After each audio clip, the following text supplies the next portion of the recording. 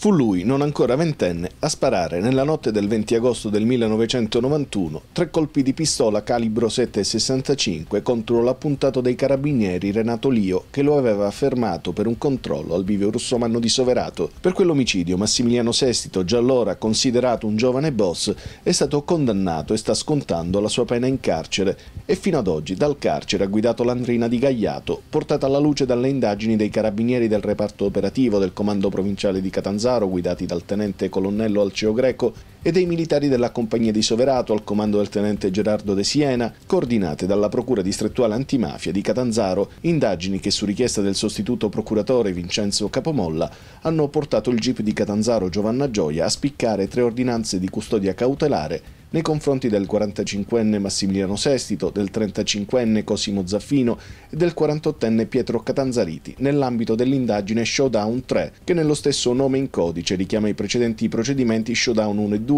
già arrivati a sentenze che hanno ottenuto l'importante risultato di riconoscere l'esistenza di una cosca a Soverato, che prima era ritenuto un territorio esente da infiltrazioni indranghetistiche, come ha rimarcato in conferenza stampa il procuratore aggiunto Vincenzo Luberto. Le indagini hanno invece ricostruito le dinamiche criminali sviluppate dopo l'omicidio di Carmelo Novella, avvenuto nel 2008 nel Milanese, da cui è nato uno scontro sanguinosissimo tra le due componenti dell'andrangheta soveratese durato tre anni. Da un lato i Todaro, dall'altro i sia Procopio Tripodi, nel mezzo una serie di delitti cruenti per bloccare l'emancipazione dell'Andrina dei Gallace Novella, operanti nel Basso Ionio catanzarese. Le ultime indagini, come ha spiegato il tenente colonnello Greco, sono la prova della perseveranza di procure e forze dell'ordine che non hanno abbandonato le indagini sul territorio dopo aver portato a termine importanti operazioni per evitare che potessero risorgere fenomeni indranghetistici. I tre arrestati sono accusati di associazione mafiosa. Al vertice dell'Andrina di Gagliato era appunto Massimiliano Sestito, che la gestiva dal carcere per il tramite del fratello Davide,